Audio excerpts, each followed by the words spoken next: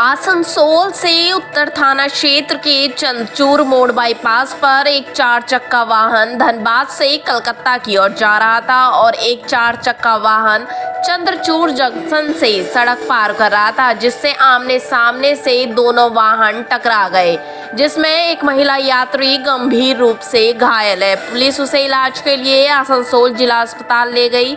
हालांकि समाचार सूत्रों के अनुसार धनबाद से कोलकाता जा रही वाहन शादी की कार थी आसनसोल से वसीम खान की रिपोर्ट একটা গাড়ি ধানবাদ থেকে আসানসোল থেকে যাচ্ছিল এই গাড়িটা সেই সময় ক্রস করছিল এবং মুখোমুখি সংঘর্ষ হয় তার কারণে হন্ডা ক্রিয়ের গাড়িটা ওখানে পাল্টি খেয়ে যায় এবং একটা মহিলা ইনজিওর ছিল আমাদের হাইওয়ে অ্যাম্বুলেন্স আসে এবং তাকে আসানসোল মহকুমা হসপিটালে নিয়ে যায় পুলিশ এসেছিল ঘটনা হ্যাঁ পুলিশ কন্যাপুর পাঠিয়েছিল সবাই কোথাকার এদের বাড়ি পড়ছে? এখন পর্যন্ত সঠিকভাবে জানা যায়নি তো জানা যাচ্ছে উনি নাকি রাধানগর মহিলা নাকি রাধানগর নিবাসী।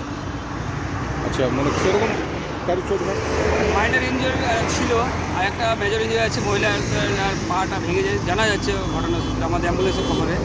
এখন পর্যন্ত সঠিক তথ্য আসেনি। আসানসোল জেলা হাসপাতালে হ্যাঁ আসানসোল জেলা হাসপাতাল আপনার নাম? আমার নাম উৎপল মাঝি আমি হাইওয়ে পেট্রোল ইন্ডাস্ট্রি কাজ করি।